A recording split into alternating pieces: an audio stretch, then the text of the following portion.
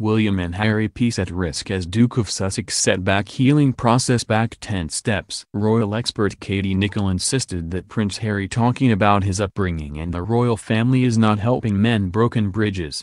While speaking on Entertainment Tonight, Ms. Nicholl claimed the Duke of Sussex was taking 10 steps back with brother Prince William every time he mentions his personal life. This comes as Prince Harry faces a backlash for his candid confessions during the podcast Armchair Expert with Dax Shepard. Ms. Nicholl said, I think it was everyone's hope that Prince Philip's funeral would preface the thawing of ice. We know things have been very strained and difficult behind the scenes. I understand there were conversations on Archie's birthday. The royal expert then reflected on Prince Harry's latest comment on the royal family. She said, Things like this podcast which really just opens up another Pandora's box can only set that healing process back by 10 steps. I think it is inevitable that every time the Duke of Sussex speaks out about personal relationships is going to be damaging to the healing of this rift. This is particularly true for the rift between Prince Harry and Prince William. I think there is a desire on the part of both of the brothers to move on and heal this relationship. Will the brothers be standing shoulder to shoulder on July 1st for the unveiling the Princess Diana statue. What is that body chemistry going to look like? At the moment we are still not 100% sure that Harry is going to be here for that. Of course, that depends on when his daughter is born and how Meghan is. During the podcast,